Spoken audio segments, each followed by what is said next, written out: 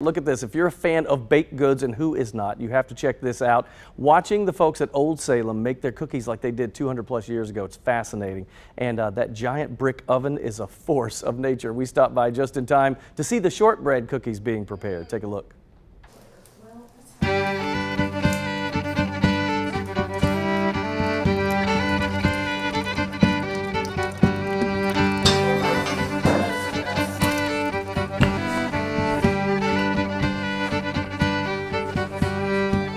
Right, that is just a table full of love right there. That's what that is. Jeffrey's with us, and we're uh, in Old Salem. We're talking about baking. You know, when you're in Old Salem and you talk about baking, it's the best, the best out there. How long have you been doing this?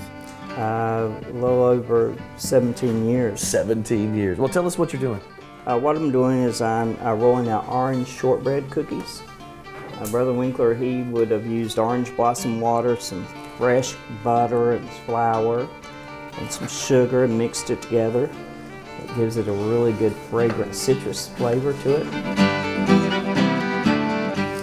You, you do this all day, and then later on, are you serving them? I do.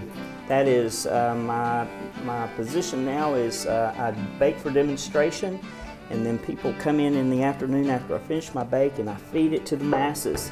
so you actually get to see and actually get Wait to eat a little bit of history. You didn't tell me that my timing is off. I should have been here in the afternoon. Now I know. Well, at least I get to see this part. That's cool. That's absolutely And this is all done the old-fashioned way, right? It is. It is. It actually is.